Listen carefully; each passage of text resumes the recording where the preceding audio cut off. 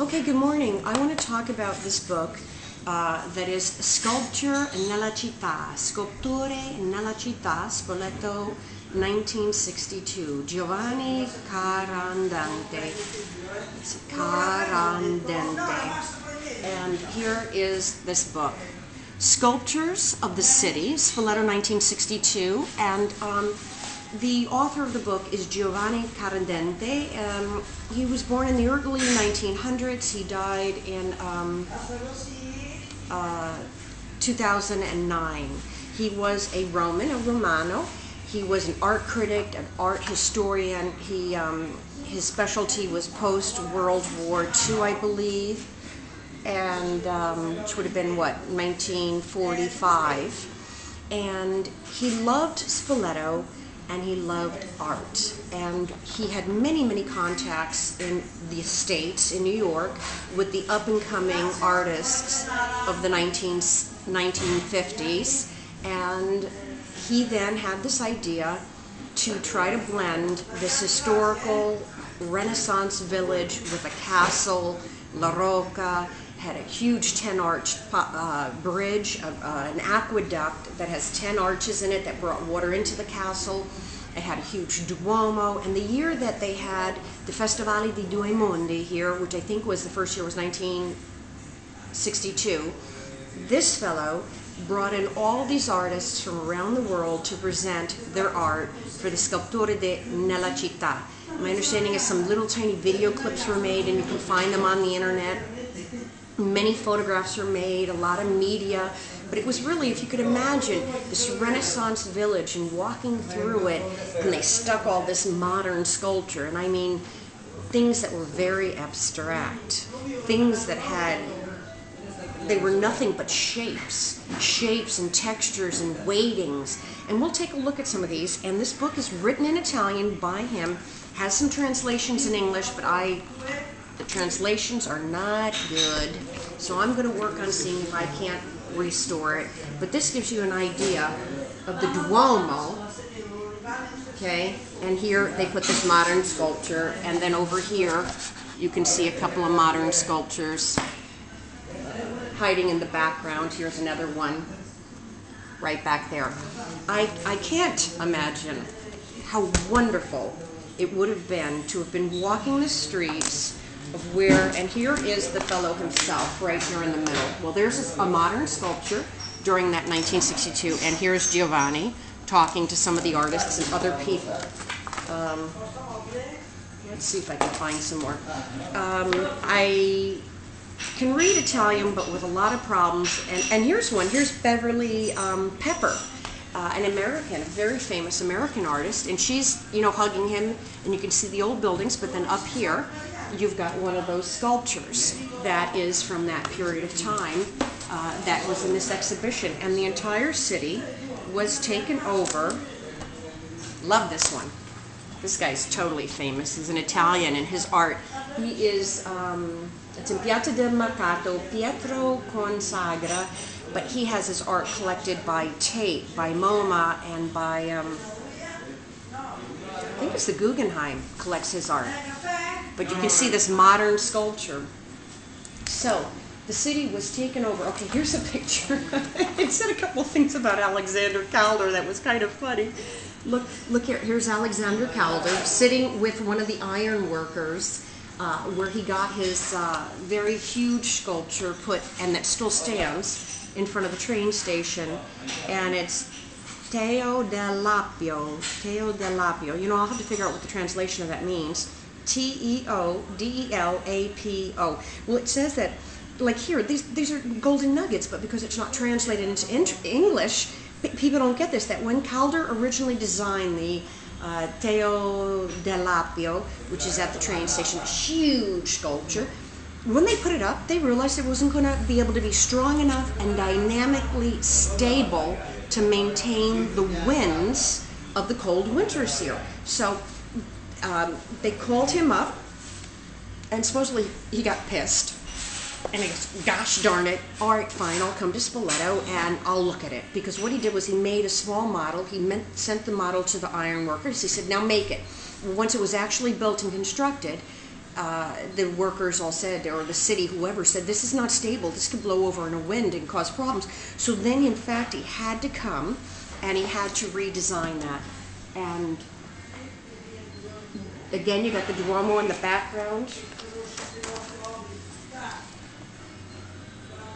So, all right. Um, let's see if I can't read a little bit. Now, what I'm going to be reading is written in English, but because it was translated from Italian by somebody into English, they've made some mistakes. They've repeated themselves and it doesn't always translate well. So I'm going to go ahead and let's see if I can get the light on it. In the wake of a certain small number of limited publications, this book intends to present itself as the definitive tribute to that once in a lifetime experience that took place in Spoleto in 1962, still known and remembered as the exhibition of sculptures in the city. Yeah, it was it was an amazing thing. It therefore republishes the text which I wrote at the time for the magazine Spoletium. So this particular man wrote a lot of pieces, and um, uh, Giovanni, and it republishes them, and which appeared almost simultaneously with the opening of the um, with the opening of the let me see of the show, a text with the verve of contemporary running through commentary. A number of photos have been drawn from magazines of the Italsider Corporation which sponsored the undertaking. The extraordinary photographs of Ugo Mulas are likewise reproduced here, and we have chosen to flank them with my inter, inter, introductory, introductory, see sometimes the English translation, or introductory text for the volume that appeared in 1992. Una città pieno di sculture, a city full of um, sculptures is what that means. Now, nearly impossible to find. That title was borrowed from the American journalist William McHale, who used it in Time magazine. So at some point in time, I'm going to go back and I'm going to research and find that Time magazine article for the re the, the re-emergence of this where he told the story of the exhibition with extraordinary passion. It's fitting to remember that his article appeared only a week before his death in the crash of Bascapè, B A S C A P E, Bascapate, not far from Pavia. And he was in Enrico Mattei's airplane when the crash happened. So, this guy for Time magazine wrote this very, very, very passionate story and then a week later it was killed in an airplane crash. E- Italsider, Ital Cider, which is the name E I T A L S I D E R, is the name of the company that paid for a lot of this. In the act, in an act at the time of unprecedented patronage, not only took on the greater part of the costs of this heavy duty overland transportation, but also placed the facilities of its various plants scattered up and down the peninsula at the disposal of 10 of the greatest modern sculptors from Italy, England, and America. So, for the sculptures in the city, Giovanni had arranged with this um, company that was a transportation company. It somehow arranged that 10 sculptors, sculptors, sculptors were invited to be the honorary, honorary guests to have a sculpture built here in Italy at these plants, and they picked different locations where they could build their sculptures. This company sponsored all of this and then put the sculptures in pieces on vehicles and transported the sculptures to, to Spoleto and then had the, the sculptures erected. So this was an unprecedented thing at the time of sponsorship. Okay, from Bagnoli to Piombino, from Lovere to Cornigliano, from Savona to Voltri. The, okay, these are different cities in Italy.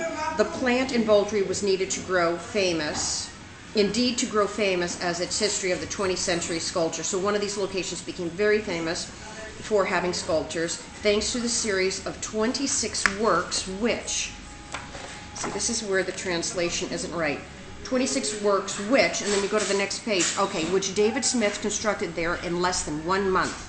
So one artist, David Smith, had constructed 26 sculptures in one month at that location, each simply entitled Voltri, V-O-L-T-R-I, with the place name followed by a Roman numeral. So Voltri numero uno, Voltri number two, Voltri numero, numero tre.